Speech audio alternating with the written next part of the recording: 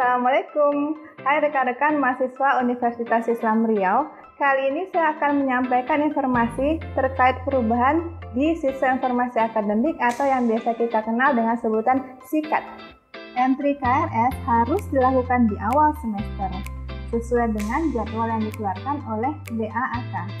Setelah penutupan jadwal KRS, DAAK akan melaporkan data KRS tersebut ke PD Dikti sehingga tidak memungkinkan lagi untuk melakukan pengisian KRS di akhir semester ataupun di luar jadwal yang telah ditetapkan oleh DAAK. Nah, perubahan pada singkat kali ini berhubungan dengan pengisian KRS mata kuliah skripsi.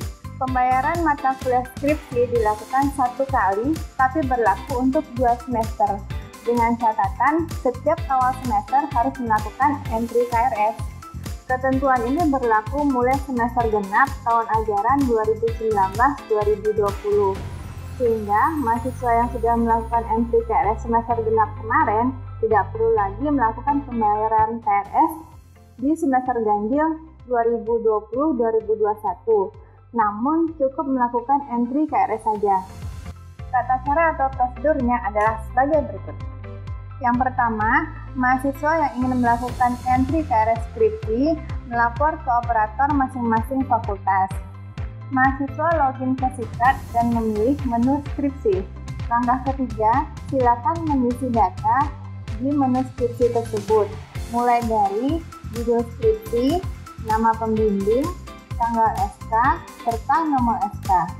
Langkah keempat, lakukan cetak kartu bimbingan. Kartu bimbingan harus dibawa setiap kali melakukan bimbingan dengan dosen pembimbing.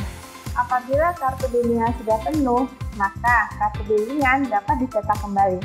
Kartu bimbingan wajib dicetak di setiap awal semester karena tahun ajaran akan berubah. Demikian informasi ini saya sampaikan. Jangan lupa subscribe dan nyalakan lonceng notifikasi untuk mendapatkan informasi-informasi terupdate lainnya. Assalamualaikum.